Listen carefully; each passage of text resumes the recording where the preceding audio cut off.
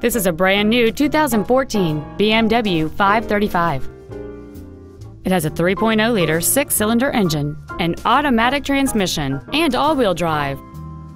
Its top features and packages include the Premium Package, a cold weather package, the Driver Assistance Package, a navigation system,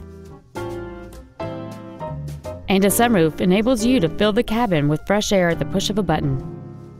The following features are also included dual power seats, air conditioning, cruise control, a CD player, BMW individual composition, side curtain airbags, rear seat child-proof door locks, full power accessories, a keyless entry system, and the leather seats provide great support and create an overall luxurious feel.